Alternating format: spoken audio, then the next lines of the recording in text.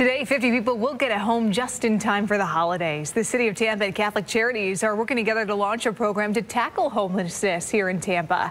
ABC Action News reporter Stassi Olmos is live from 3rd Avenue in East Tampa, where there will eventually be 300 small cottages for the homeless. Good morning, Stassi.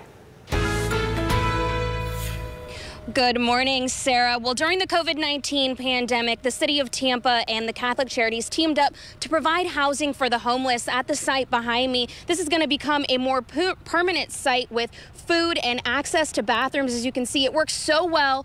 They're now going to expand from 100 tents to 300 small cottages. The program is called Tampa Hope, starting today with the first 50 residents. The Catholic Charities of the Diocese of St. Petersburg bought the land and will run the program, which will provide food, clothing, employment assistance, financial substance abuse, mental health counseling, as well as basic dental and medical care. The City Council approved $750,000 to help with the program, overall costing $7.3 million to build this out and launch it this year. Now, the original camp back in 2020, it has uh, was open for about two months, and 67 of more than 200 people that stayed at these facilities are now in permanent homes. They're hoping that that is going to be the same trend for this facility. And this morning at 9 a.m., they're going to be opening it with those first 50 residents. We're going to bring that to you live right here. Join us again. Reporting live in Tampa, I'm Stassi Olmos, ABC Action News.